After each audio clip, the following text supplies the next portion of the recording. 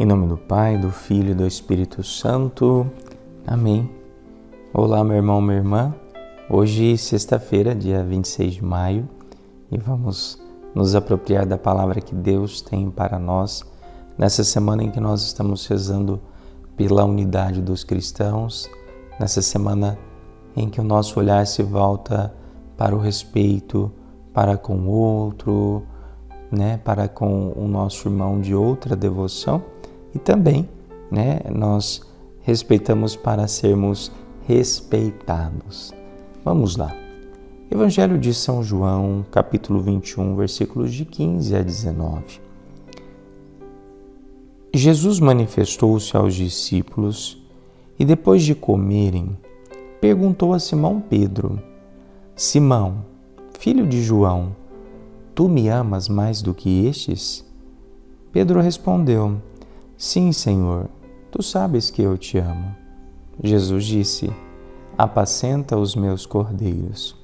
E disse de novo a Pedro: Simão, filho de João, tu me amas?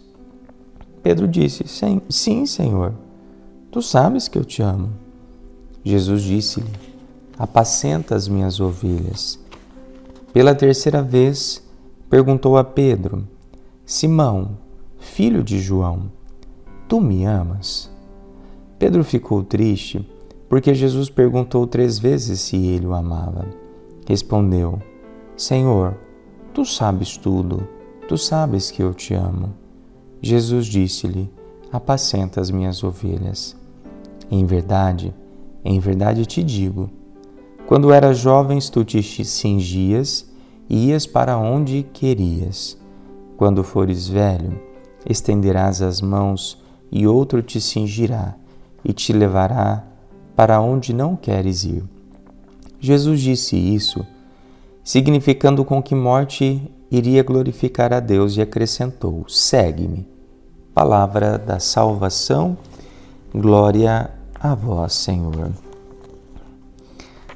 Esse, amados e amadas de Deus, esse diálogo de de Jesus com, com Pedro é um, é um diálogo belíssimo.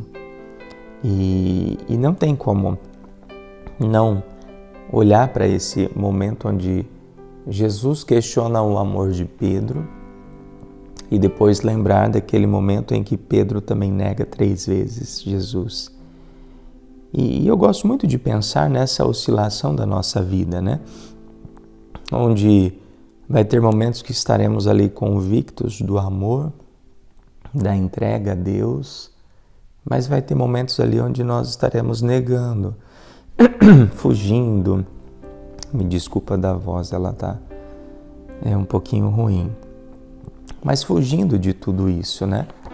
E e aí assim, mas aprofundando principalmente neste tema, eu gosto muito de pensar que Jesus está perguntando para cada um de nós. Hoje Jesus ele ele se volta para mim e pergunta Túlio, né? Você me ama? Você me ama verdadeiramente? E, e é interessante porque o amor a Jesus envolve um compromisso. Porque olha aqui que Jesus fala: Pedro, tu me amas mais do que estes? Pedro respondeu: Tu sabes que eu te amo. Né? Então, assim, eu fiquei pensando assim. Pedro não falou, não sei se eu amo mais, mas tu sabes que eu te amo. Né? Fiquei assim, ele não responde exatamente a pergunta, eu te amo mais do que estes, mais do que essas pessoas. Ele só falou, Senhor, tu sabes que eu te amo. E ali qual que é a resposta de, de Jesus? Né? Apacenta os meus cordeiros. Interessante que quando nós falamos do amor, nós falamos de um amor onde, através desse amor, um cuida do outro. Né? Então, o, o casal lá, você me ama? Ah, eu te amo. Ah, então cuida de mim. Né? Esteja ao meu lado. Né? Me ajude nas minhas necessidades. o compromisso é com a pessoa, né? Com Jesus é diferente. Jesus poderia falar: Pedro, tu me amas mais do que este? Pedro responde: Sim, Senhor, tu sabes que eu te amo. Ah, então esteja sempre ao meu lado. Nunca me negue. Né? Então vamos caminhar juntos. Né? Cuida de mim e eu vou cuidar de você. Não. Jesus responde: Apacenta os meus cordeiros. É por isso que o amor a Jesus Cristo, o amor a Deus, ele caminha junto com o amor ao próximo. Né? No entanto, quando nós pegamos lá o mandamento, é amar a Deus sobre todas as coisas e ao próximo como a ti mesmo. Né? Olha, olha como que esse amor ele caminha junto. É um amor que caminha junto. É, amar a Jesus Cristo, ele envolve um comprometimento com a missão, ele envolve um comprometimento né, com o outro.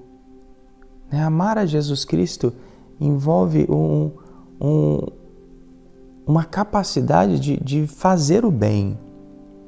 Apacentar, né? apacentar as ovelhas é fazer o trabalho de um pastor, é aquele que, que cuida, que está junto, que, né, que celebra ali, que, que vivencia ali muitos momentos. Isso é o apacentar. Né? Esse, esse é o gesto de, de apacentar. Então eu, eu, eu fiquei pensando muito nisso, né? No, no, neste apacentar. É, o quanto que eu demonstro a Deus o meu amor, a Ele, a Jesus, não só com um terço que eu rezo, não só com a missa que eu participo, não só com, sei lá, com os momentos de oração pessoal que eu tenho, mas eu demonstro o meu comprometimento nesse amor, cuidando do próximo. Então, e aí entra uma, uma responsabilidade, porque aí a gente vai saber se a gente ama de verdade. Que se eu amo de verdade, eu estou fazendo isso. Tendo esse entendimento, como você responderia essa pergunta que Jesus te faz? Mas é interessante porque quando nós pegamos a linha teológica, nós vamos encontrar né, na, na, no entendimento do amor três tipos de amor: amor filia, quer dizer, amor ágape, amor filia e amor eros. O eros é o amor do casal, né? Eros vem do, do, do erótico, do, daquela, do, do amor do, do, do esposo para a esposa, do amor do homem pela, para a mulher. O filia é aquele né, amor filial mesmo, de, de, de, de, de família, de, de, de, de, amizade. E o ágape né, é aquele amor é o maior amor. Né? Um amor, é, como que eu posso dizer? É, é um amor superior, é um amor, né? um amor de Deus, esse amor de entrega mesmo. Né? Pensar no amor de Jesus por nós que faz tudo, um amor que não tem limite. Né? Eu, eu amo até, até aqui. Não, é um amor que não tem limite. E, e aí a gente vai entender que, que, que Jesus ele, ele perguntava para Pedro se Pedro amava né, no amor ágape. E Pedro respondia que amava no amor filia. E ele perguntava de novo no ágape. E ele respondia no filia, né? E depois ele pergunta então, assim, no, no final ele pergunta no amor filia e ele responde, né? No amor, é, eu te amo nesse, nessa condição de amar, né? E por fim a gente vai ver que, que Pedro conseguiu amar no amor, no amor maior, né? Por isso que, que Jesus até fala, calma, calma, Pedro, você, você ainda vai me amar nesse amor, né? Porque, ó, quando você for velho, estenderás a mão, te levarás para onde não queres ir, para significar com que morte ele iria glorificar a Deus. E ele glorificou a Deus.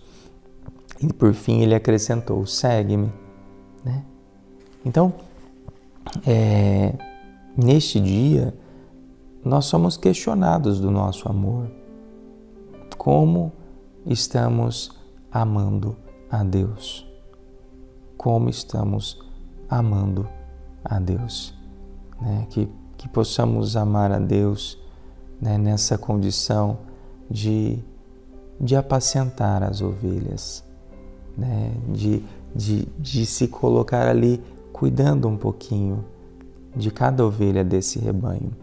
E, e entenda que aqui não, não tem um, um, um conteúdo somente do campo espiritual, não.